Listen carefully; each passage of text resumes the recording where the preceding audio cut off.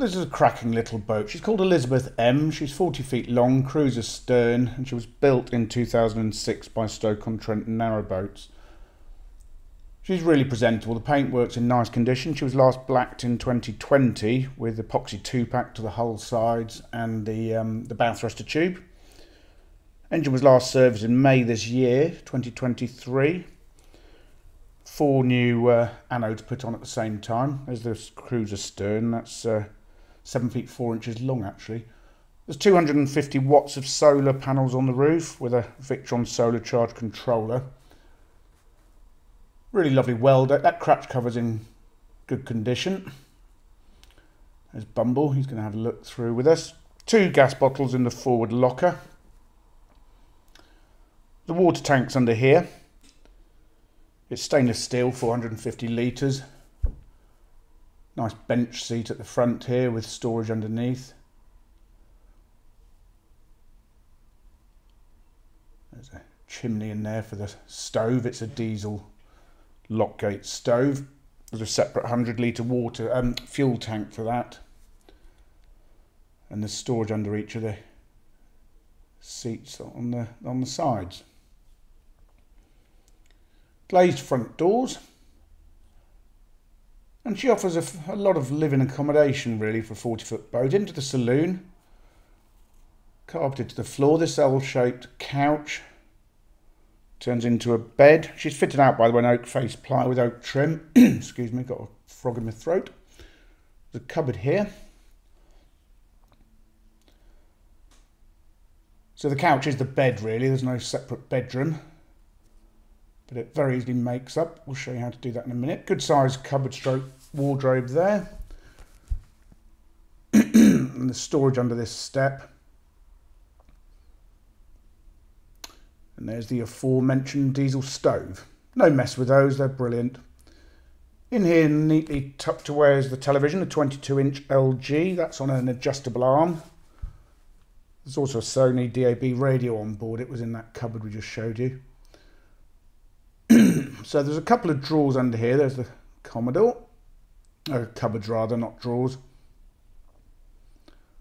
One there. and this is how you make up the bed. That just pulls out. Usually do it with two hands, it's a bit easier.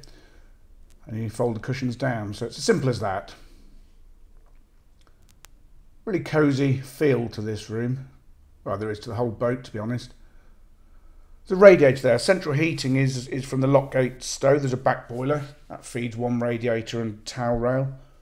Hot water on the boat is heated by the engine, the Lockgate back boiler, or there is an immersion heater fitted as well. Cupboard in between the galley and the uh, saloon. The saloon, by the way, was 11 feet 2 inches long. There's some lights under that cupboard, by the way, some down lights. And the uh, the galley's 6 foot 6. Bank of five drawers there. The cooker's a Stoves 500 DIT. It's a 12 volt fridge with an ice box. Nice oak block worktops in here. Plenty of storage. Don't think I mentioned head height on the boat. That's quite generous, six feet five inches in the middle of the boat. And on the starboard side is a lovely Belfast sink with an oak top to increase your work surface area. Cupboards underneath. I should mention there was a survey carried out on this boat in 2018 there's no record of it actually. The vendors oh, lost it basically, but there were no major issues.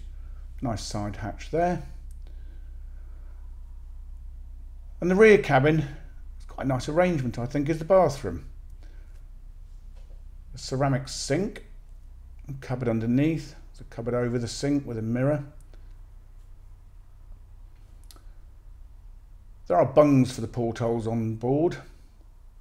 They're brilliant. They're like blackout bungs.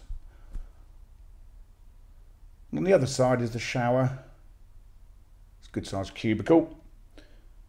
It's tiled. A couple of shelves in between the shower and the cabin sides. And the loo itself is a Thetford cassette.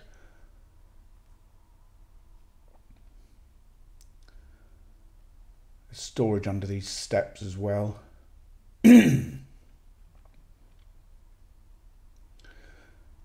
And if you've ever wondered what the inside of a Jack Russell's nose looks like, I think that's the moment you've been waiting for. There we go. And he's put a lump of something on the uh, lens there, that's nice. A really good sized back deck. The engine's a Beta Greenline 38 with a hospital silencer. There is a bow thruster on this boat. It's a beautifully clean engine room. It's a Vetus 55 kgf bow thruster.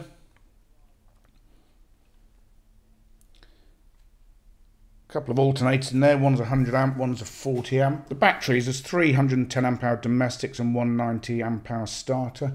And there's one battery for the bow thruster as well. All the lights on board are LED. There is an inverter. It's a 2.5 kilowatt Victron inverter charger. And there's also a galvanic isolation transformer on board a Victron. There's a tonneau for the back deck, I should mention.